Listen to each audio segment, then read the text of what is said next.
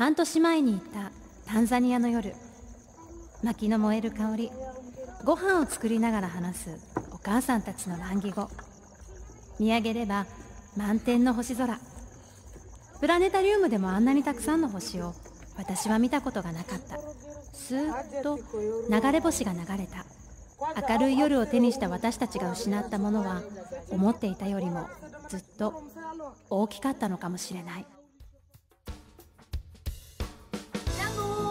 ゴー Habari gani 空木マイカです。日曜夕方5時からお届けしている Sunday Happy Hour では、えー、世界のいろんな国の音楽が聴けたり旅のお話それから絵本や映画の紹介いつもの日常とはちょっと違った時間が流れる1時間です、えー、名物コーナーがありましてみんなの歌ですね私がこの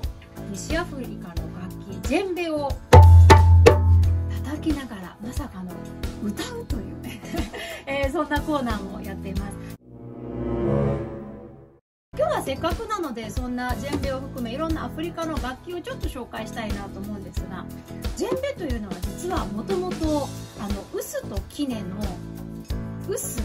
だったんですね。お米をこう脱穀している時に、えー、臼に穴が開いてだからこれ穴が開いてるんですね。そこに、え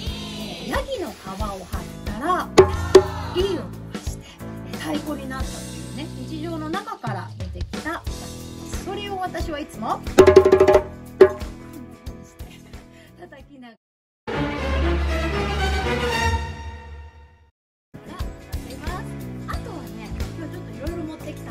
じゃーんこれはカリンバと言います。アフリカの親指ピアノでして番組ではねこれをなんとプレゼントしたことも あるんですね。こんな音がし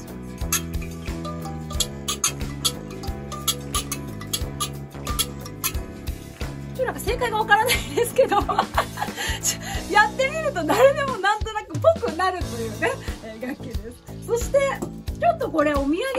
なのであんまり音は良くないんですが、えー、番組でもちょくちょくかけてます。バラフォンという、えー、木琴です。これもちょっと叩いてみましょう。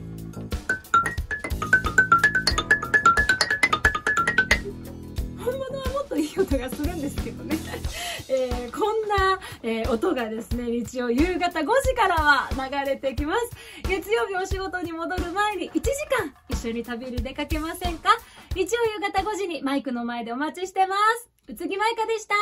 クワヘリー。